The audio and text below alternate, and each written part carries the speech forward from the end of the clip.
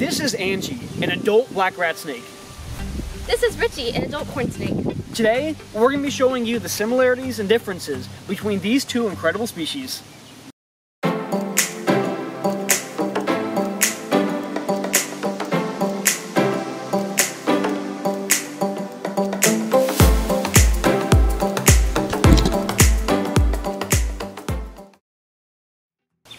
Now you might not know it by looking at them, but black rat snakes and corn snakes are a lot more similar than many people think.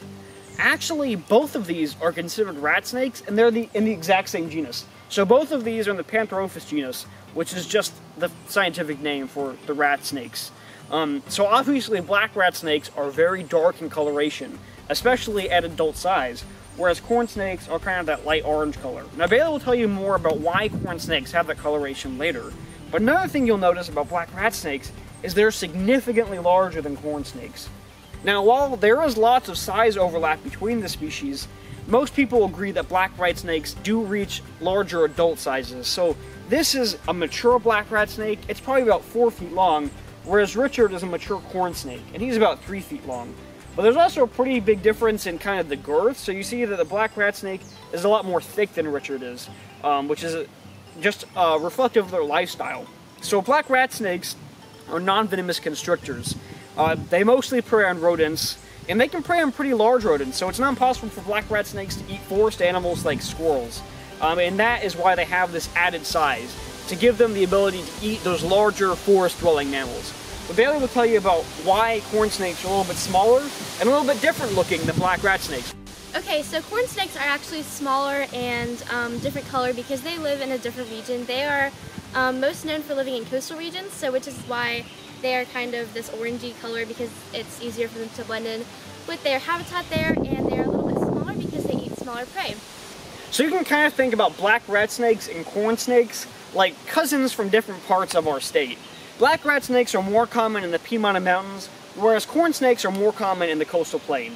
However, both of these species can actually be found in all parts of North Carolina, which is why it's important that they have slightly different ecological niches. Obviously, both of them will eat rats and lizards and things like that, but the added size and bulk of the black rat snake means that it can take larger prey like squirrels, whereas the smaller size of the corn snake enables it to chase and survive off of smaller prey, like mice and lizards. Okay, so both these snakes are harmless to humans pretty much. Um, they have very small teeth. They won't harm you if you don't harm them. So if you see them in your backyard, you know, just let them go. Um, they will eat your rats for you. Um, so yeah, just really don't, they're just harmless, peaceful animals, um, as you can see. Alright, now just to prove to you how calm, cool, and collected these snakes are, we're gonna let our little siblings come in and have a tour. Now this black rat snake was actually relocated from someone's garage, and this corn snake is my pet Richard. But, as you can see, both species are very calm, even when handled. And I don't recommend handling them if there's not a reason to.